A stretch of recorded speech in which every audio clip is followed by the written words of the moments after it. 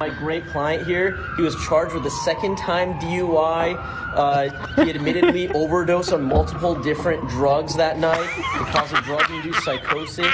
He crashed with two other cars on the freeway, flipped over a few times. Luckily, Ah! everyone made it out. I can't. Oh, I was just looking at his face.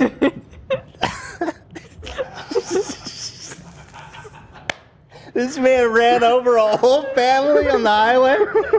He was blackout drunk, tested positive for PCP.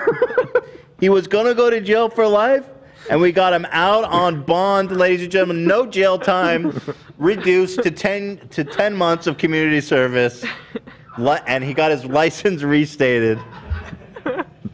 Huge dub. All the comments are no, keep this man off the road. Bro is unleashing supervillains. Send this man back to jail. the worst one by far. Uh, and this comment, this is what I was laughing at. He says the bro, Oh my god. bro is standing there like, yeah, I did all that. the car. He started fighting with them. They charged him with resisting arrest also. Um, and